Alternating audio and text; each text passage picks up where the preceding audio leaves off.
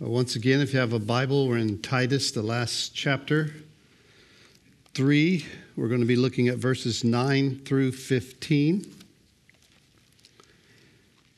It's all about disputes and uh, foolishness. I don't know how I got stuck with these last few verses, but here we are. Last week, uh, we heard the exhortation that said, Remind them. Remind them of what to do, who we are, and what God's done. And now the Apostle Paul closes out this letter to Titus. He calls him his son in the faith with some final exhortations, some things that he says, Titus, here's some things you should steer clear of, you should avoid. And I think we should avoid as well. Uh, look at verse 9 of chapter 3 of the book of Titus. It says, Avoid foolish disputes, genealogies, contentions, strivings about the law, for they are unprofitable and useless. He says, Titus, I want you to steer clear of these disputes. He uses the word foolish. It could be also questions, foolish disputes and questions. Like you'll hear people sometimes say things like, Well, can God, because He's Almighty, make a rock so heavy He can't lift it? And you go, Who cares?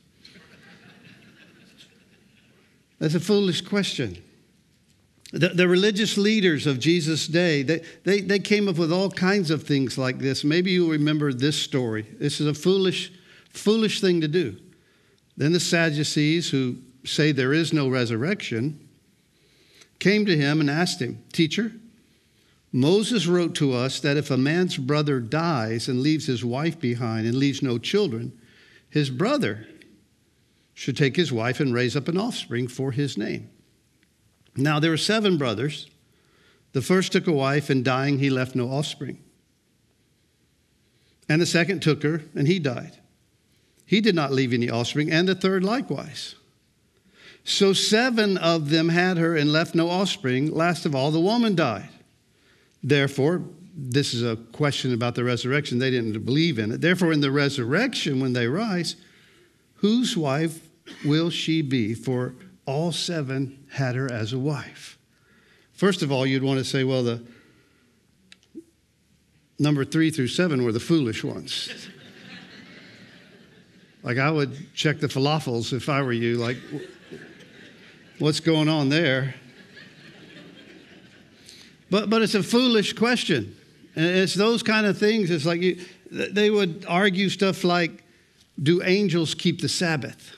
And they would wrangle back and forth about that kind of stuff. And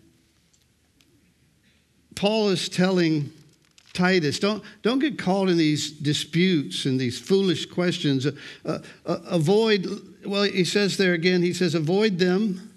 And also, when it comes to not only just questions and things like that, but genealogies. And people were into that in the Jewish faith, your lineage, your, your background, things like, well, I came from a priestly line, or, or I'm from the tribe of Judah, or the tribe of Benjamin. And they were convinced that they were a little more special, a little more spiritual if they came from some kind of priestly or kingly lineage. But Paul, Paul would say a lot about that in his uh, understanding of, of he knew, he knew what it was like to be of a certain lineage. In fact, in the book of Philippians, he told those readers something very important. In, in Philippians chapter 3, he says, For we are the circumcision who worship God in the Spirit, rejoice in Christ Jesus, and have no confidence in the flesh. And that was a confidence in the flesh to, to look back to your genealogy. He said, Though I also might have confidence in the flesh, if anyone else thinks he may have confidence, I more so. circumcised on the eighth day of the stock of Israel, of the tribe of Benjamin, a Hebrew of Hebrews, concerning the law, a Pharisee, concerning zeal, persecuting the church, concerning righteousness which is in the law, blameless. But what things are gained to me, these I have counted loss for Christ. Yes, I, indeed, I also count all things lost for the excellence of knowledge of Christ Jesus my Lord, for whom I have suffered the loss of all things and count them as, and he says, as garbage or as rubbish, that I might be found in him. Not having my own righteousness, which is from the law or genealogy or what I, how I kept it, but that which is through faith in Christ, the righteousness which is from God by faith. Paul says, Hey, if you want to brag about genealogies, I could. I'm from the tribe of Benjamin. I, I'm from the tribe that produced the first king of Israel. I have amazing religious background, pedigree. But he says it means nothing. Gaining Christ is what matters. Steer, steer clear of this, this sense of prominence through fleshly pride and status. And then, then he goes on, and, and Paul just really bears down on this whole thing with, with Titus because this is happening within the church. They're trying to enforce the, the Jewish law, and there, there's all kinds of divisions that are starting to crop up. He says, avoid foolish disputes, genealogies, and contentions. Contentions. People who like to argue about everything, who, who like to create debates about everything. Like, like some people just like to complain about everything. Don't look at your husband or your wife at this point. People complain about the air conditioning, the carpet, the sound, the parking, the leadership, the rapture, strivings about the law, certain things you can and can't do on the Sabbath. You know, Sabbath was a day of rest, so they had certain laws and regulations that allowed you to rest. You couldn't work on the Sabbath. And they had all kinds of things that they came up with that created work. Like, let's say, for instance, any kind of burden that you would bear, a weight that you would carry around, would be breaking the Sabbath. If you had a wooden leg, can you wear that wooden leg on the Sabbath? I mean, it's not part of your normal, you weren't born that way. So if you're dragging that leg around, you're working on the Sabbath. If you had false teeth, you'd be gumming on, on Sabbath.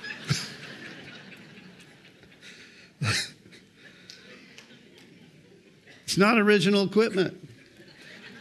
If the, if the ground was dusty and you spat upon it, well, you would make mud. And making mud is work so you couldn't spit on the ground on the Sabbath.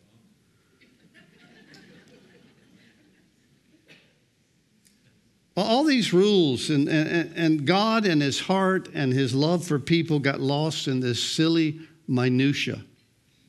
And so he's, he's warning Titus uh, stay away from that kind of stuff. It's, it's unprofitable, it's, it's useless. And it can happen. I mean, I don't know how many of you, how many of you remember uh, Y2K? When the whole world stopped. Remember, remember that? So, so I was actually here pastoring the church during Y2K, and there was quite a group of people who would come to me and they wanted to talk about this thing. They wanted to wrangle about it. And, and they were trying to force me to do certain things like, like John, you need to help people uh, know how to turn their pool water into drinking water. Oh. And, and, and you, you, you need to make sure that, that you, know, you, you help them prepare how to get kits of food that they can store and be ready. And, and we should prepare up here at the church. We could use these rooms for, for people to stay in when the power goes down and everything shuts down. And, and we could get a group of guys who could fish out in the sound, and we could create places around here where we could cook fish and we could help people survive what's going to happen when Y2K occurs. And I met with a bunch of them in my office one time, and, and we're sitting there, and they're going through all the stuff that I should be doing. And, and I said, Well, let me, let, me, let me ask you a question. Where, where in the Bible does it say that I, as the pastor, should create fear and uncertainty about something that we have no idea what really is going to happen? False expectations based on conjecture. And they got really angry. And I brought in a pastor friend of mine from uh, Las Vegas who, who used to work on mainframe computers. He was, he was a brilliant guy. And he spoke on a Wednesday night, and we publicized it. We're going to talk about Y2K from the Bible. And one of the things he said was, I was a mainframe computer expert. He goes, We built them, they didn't build us. And he goes, And we can fix them if we need to fix them. And he goes, If anything at all happens, it'll be very minimal. And as he began to, I saw several guys just get up and walk out. It's like, we, it's like they wanted this to happen or something. And, and it, it, it was, uh, some of that also happened. Some of you will remember the, uh, the whole COVID pandemic. Anybody remember that?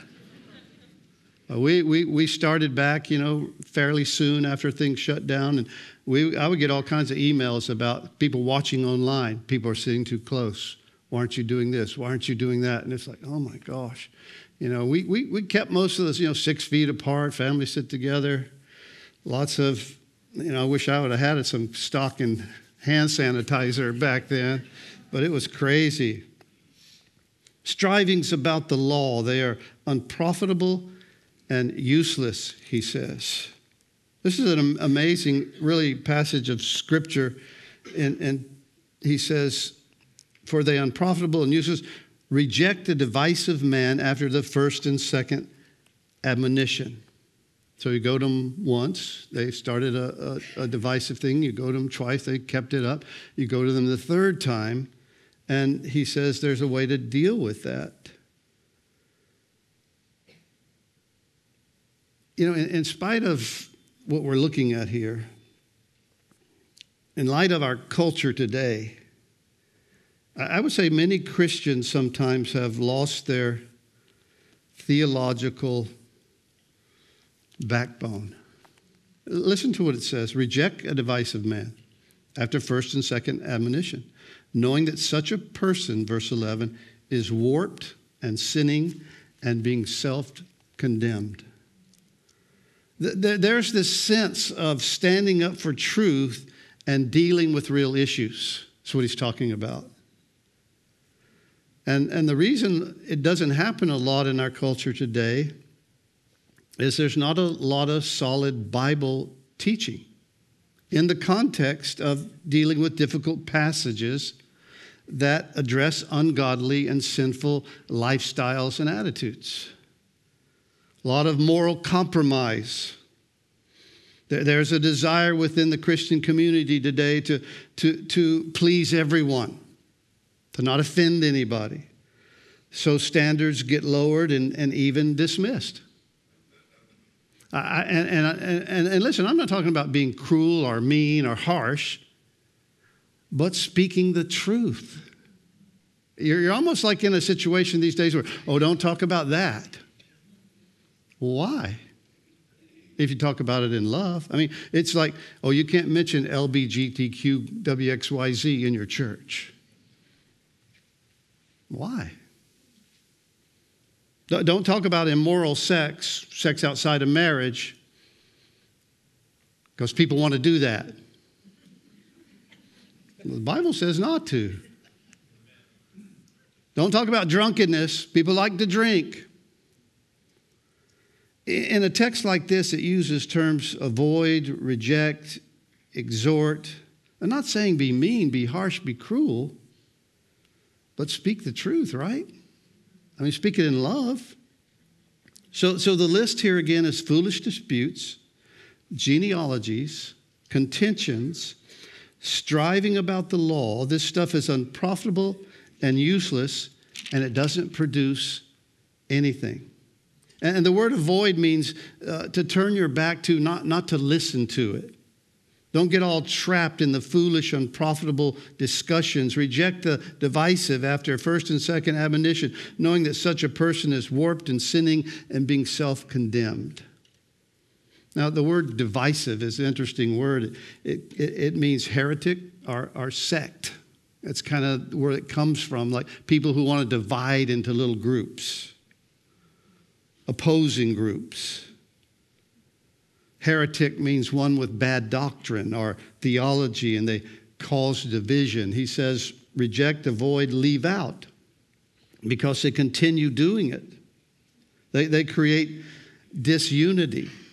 In Galatians chapter 6, verse 1, it, it tells us if a man is overtaken in any trespasses, you or her spiritual, restore such a one in a spirit of gentleness considering yourself lest you also be tempted. So you go to them in a gentle way and try to, you know, find out what's going on and, and you're loving and you're redemptive.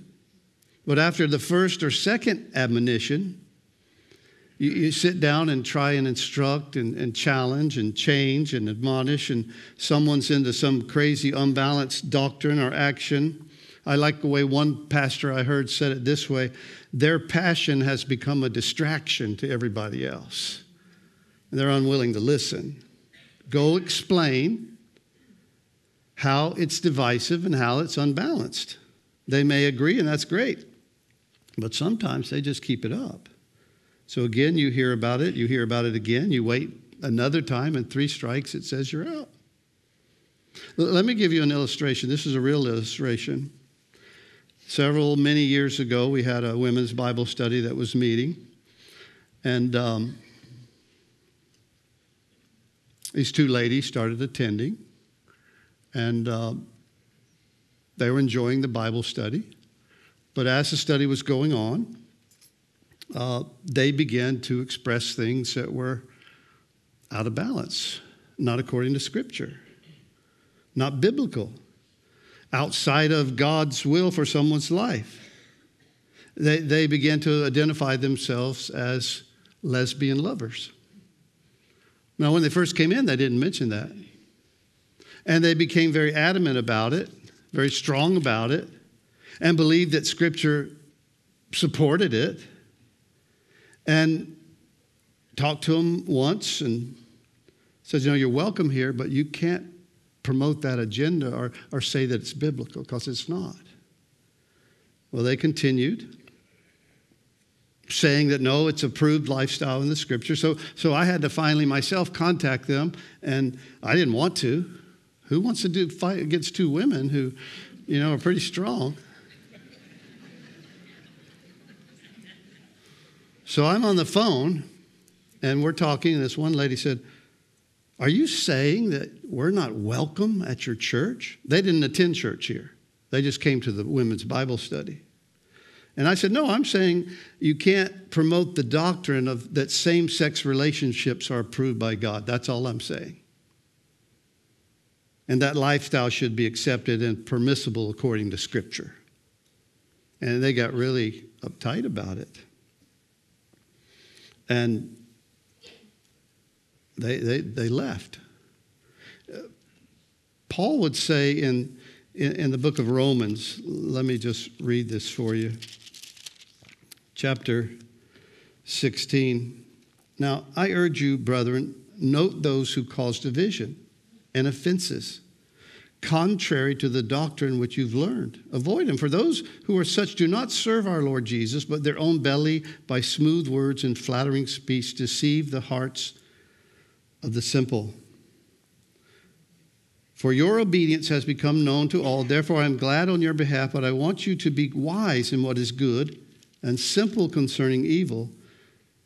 And the God of peace will crush Satan under your feet shortly. The grace of our Lord Jesus Christ be with you. Amen. So, Titus is dealing with a lot of this stuff that's coming at him as the church is being established there in Crete. And there's scripture dealing with people who are false doctrine teachers, not harshly, not, not cruelly, but lovingly, redemptively. But there's a place to draw the line. and restoration is the goal. It's, it's like Paul said uh, to the elders in Ephesus in the book of Acts, uh, chapter 20. For I have not shunned to declare you the whole counsel of God. Therefore, take heed to yourselves and all the flock among which the Holy Spirit has made you overseers to shepherd the church of God, which he purchased with his own blood.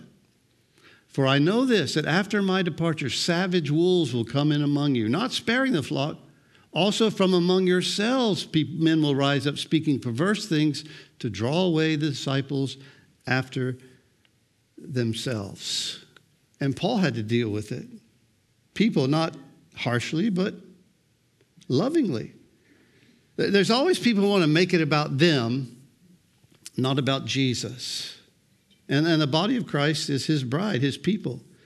And there are what the scripture calls wolves who like to come in Paul says here in, in, in Titus, as he's dealing with this and, and uh, this whole situation that's beginning to crop up in the churches in Crete, he says in, in verse 11, knowing that such a person is warped and sinning and self condemned.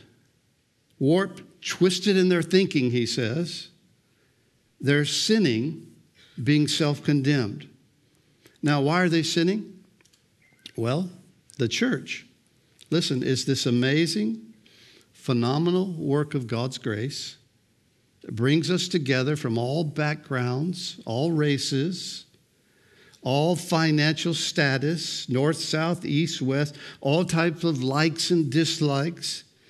God makes us a family, and the Lord has His only Son die for our sins that we can be connected to one another have the same Savior, the same salvation, the same Heavenly Father, the ability to walk and serve the Lord together. And there are those who come in, listen, who want to destroy the unity of the body of Christ. And I just want to read a, a psalm for you. This is a beautiful psalm. I'm sure you've heard it before. Behold, how good and how pleasant it is for brethren to dwell together in unity. He says it's like precious oil upon the head, running down on the beard, the beard of Aaron, running down on the edge of his garments. It's like the dew of Hermon descending upon the mountains of Zion. For there the Lord commanded the blessing, life forevermore.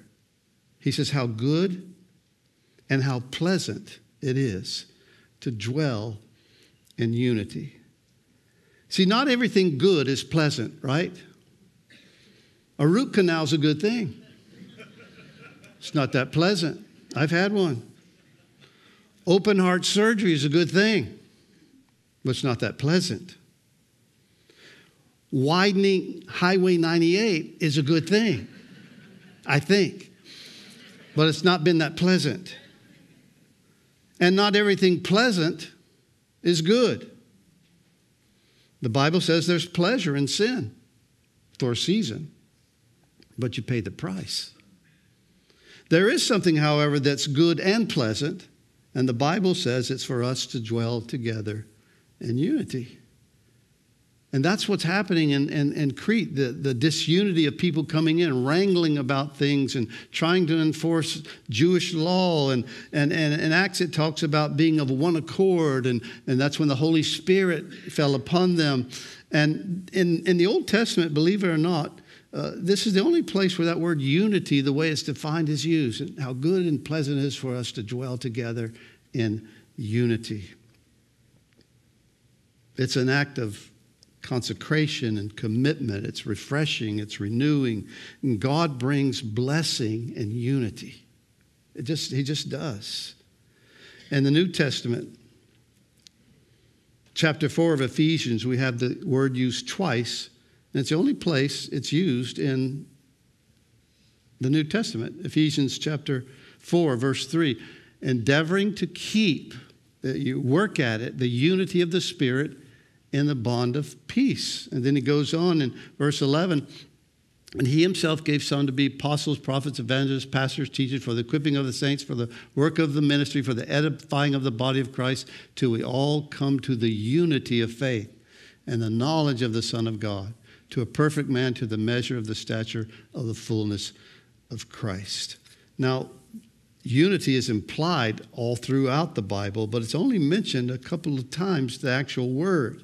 Read John 17, where Jesus has that amazing prayer God, Father, they might be one as you and I are one, certainly speaking about unity.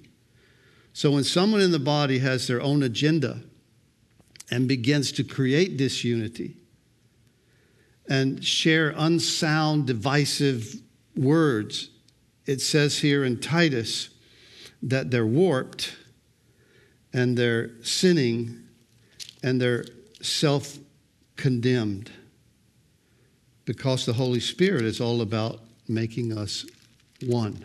That's what He's about about creating unity, not disunity, loving one another, making us part of one another's life. A divisive person, he says, admonish him once and then admonish him twice. And if, only, and if unwilling to listen, then just don't include them in the conversation. And, and he gives this, this final exhortation in, in verse 12 When I send Artemas to you, or be diligent to come to me at Nicopolis, which was west of Greece, where Titus was, there on the island of Crete, for I've decided to spend winter there. Send Zenas the lawyer and Apollos on their journey with haste that they may lack nothing. And let our people also learn to maintain good works, to meet urgent needs, that they may not be unfruitful.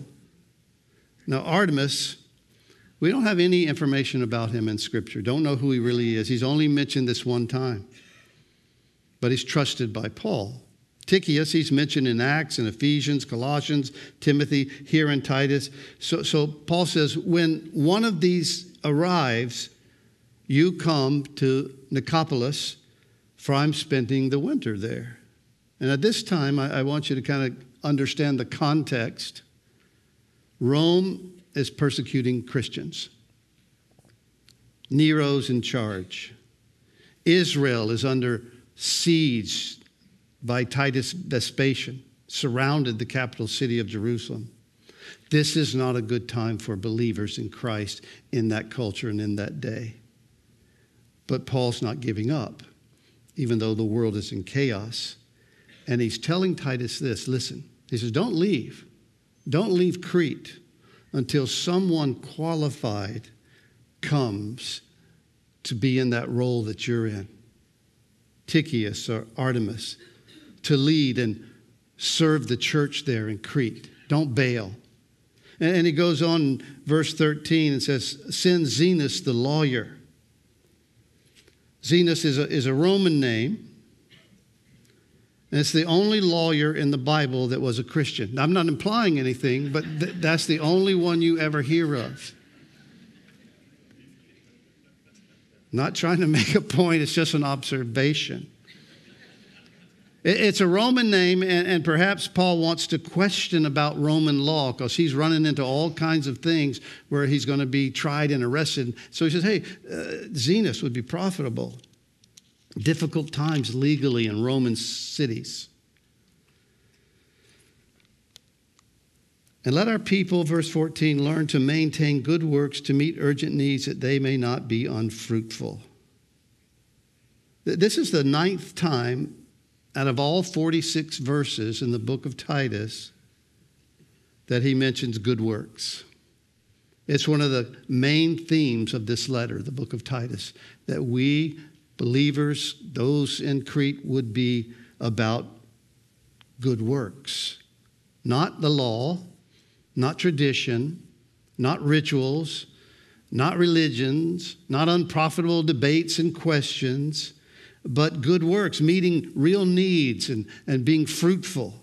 That's what God's after in your life and mine. Not a bunch of religious stuff, but bearing fruit for the kingdom. And part of that is taking care of these missionaries, Zenas and, and Apollos, to help them in their ministry. We're, we're all called to be fruitful, to be involved in meeting the needs of others in the church, in our community, and for the lost, to, to continue to grow and bear fruit. The, the final verse, verse 15 all who are with me greet you. Greet those who love us in the faith. Grace be with you all. Amen. All who are with me greet you, Titus. Now, it's not like he like today, where if you wanted to say, "Hey, all, all of us greet you," and you all get together and you you know take a selfie. They, they, they didn't have that. There's no FaceTime. There's no Zoom calls. So Titus finally gets this letter. By the time it gets there, he says, Titus, we're all with you, man. We all greet you. We're here for you. We, we're praying for you, Titus. Titus, we're standing with you. And he says, uh, Grace be, be with you all. He, he ends with grace. And the last thing Crete will hear from Paul as he finishes this letter is grace be with you all. Grace has appeared, as it said in verse uh, of chapter 2. You know, grace has appeared to all men. We, we went over that passage of Scripture. In verse 11, for the grace of God that brings salvation has appeared to all men.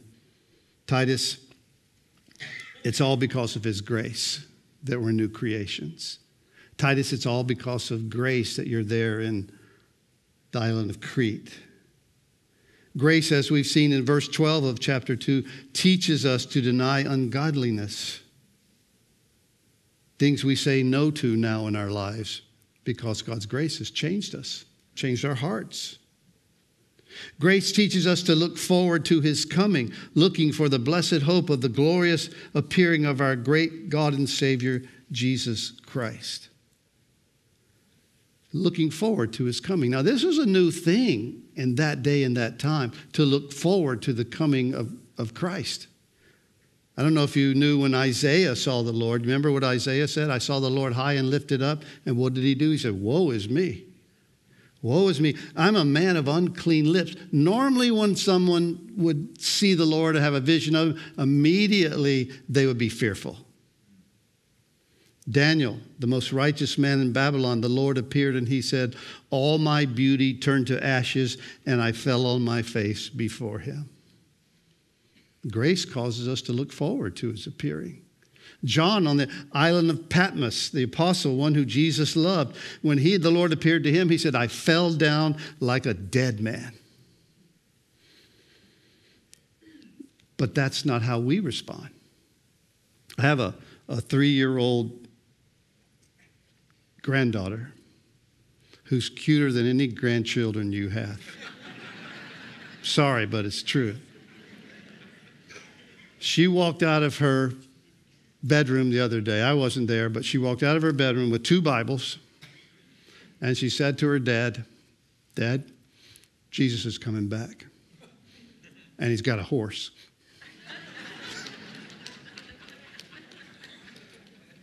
I don't know. He's coming back. And we don't have to be afraid. Now, there was a time when people would, oh my gosh, God's going to reveal himself, and Daniel and Isaiah and John the Apostle. But what could cause us to look forward to the coming of Christ and all his glory and power and his majesty? What could cause that? His grace. Now we know his grace. Paul signs off and to, the, to Titus and the Cretans and the coastlineans, and he says, Grace be with you all. Let's keep the unity. Let's keep the good works. Let's avoid foolish disputes and reject divisiveness, people, people who want to who will not listen to a loving challenge. Titus, raise up qualified leaders. That's what the book's about. And teach sound doctrine. Be zealous for good works. Embrace God's grace. See, if you just have church attendance or religious views, and you've never experienced the grace and forgiveness and the power of that in your life, then you've missed it. It's about His grace. I mean, you know the old hymn, Grace, Amazing Grace, how sweet the sound that saved a wretch like me. Religion versus relationship, God's grace. God speaks by His word. And, and you can know for certain that you've experienced His grace, that you've been forgiven by His grace. And you can be new in Christ. You can look forward. You can know for sure and not have to fear it. Paul wants Titus to warn, teach sound doctrine, be involved in good works. Jesus gave all kinds of warnings. And Paul has given some warnings here to Titus. Remember, Jesus gave warnings about false teachers. Jesus gave warnings about the truth versus that which is untrue. He said, The truth will set you free. The truth of the gospel. He says, don't, don't lay up treasures here on earth where moth and you know rust and all that can, but, but lay up your treasures in heaven. He warned us against it. Jesus warned against the wide road that, that leads to destruction. And the narrow road, he said, that leads to life. These are warnings that Jesus gave. Jesus said, No one can serve two masters. He warned us against it. He says, You can't serve God and money. He also said, Many will say on that day, Lord, Lord, did we not prophesy in your name and cast out spirits and perform miracles? And Jesus said, Let me warn you, I never knew you if you never experienced my grace. How do you know for sure? The Apostle John, in one of his epistles, said, These things are written that you might know you have eternal life. You don't have to wonder about it. I heard this illustration recently, and we'll close with this. A husband was going to take his wife to dinner for their anniversary. So he selected a fancy, swanky, dress up, get ready to pay overpriced food restaurant. You know the kind. We won't mention any names. So he called to make a reservation. And now, when you get a reservation, they, they write down your name, they secure the time, the table for your dinner at a certain date and time. So he calls, and person answers, says, I'd like to make a reservation for my wife and I for our anniversary on a certain date. So, oh, I'm sorry, sir, we're completely booked on that date. You don't have a single table? Nope, not one. Well, what can, is there anything I can do? Well, you can show up and hope Show up in hope. Yeah, sometimes we have a no show or cancellation, and if you're in the waiting area, I could get you in. But, but no guarantee? No. No certainty? No, I'm sorry. So we could get all dressed up, be sitting there, and be turned away? Yeah, that's probably what will happen. So he thought, hmm, I can't imagine telling my wife on our anniversary, let's get all dressed up so we can sit in a waiting area and hope to get a seat. Happy anniversary. no, he, says, I want a guaranteed seat, a confirmed table, my name on the list. And you know what? A billion times and a billion times more, I want my name written in the Lamb's book of life. I don't want to wor- wonder if I get there. Oh, no, I'm sorry, uh, your name's not here. What? You don't have to just hope you're going to heaven. The Bible says you can know for sure. Christ has done all he can do to give you and I salvation and forgiveness and a place in heaven. He, he, he died on a cross for, for your sins and mine. And someone put it this way one time when Jesus died on a cross, gave his life so that you and I might be forgiven and have heaven as a home. It's almost like he said, if you want to go to hell, then you'll have to walk over my dead body to get there. And people do it. Let me ask you a question. Do you know for certain you're going to heaven? Have you experienced what Paul said to Titus about grace? And have you ever heard the Lord knocking on the door of your heart saying, Open the door, let me come in? If you have, you know what that is? That's grace speaking to you. Because he could force his way into anything. He's the God of the universe. But he won't do that. He'll say, If you want me, if you want to be forgiven, if you want my grace in your life, if you want to make a reservation, so to speak, for heaven, then open the door, and I'll come in, and I'll forgive you. And if anyone be in Christ, he's a new creature. Old things pass away, and behold, all things become new.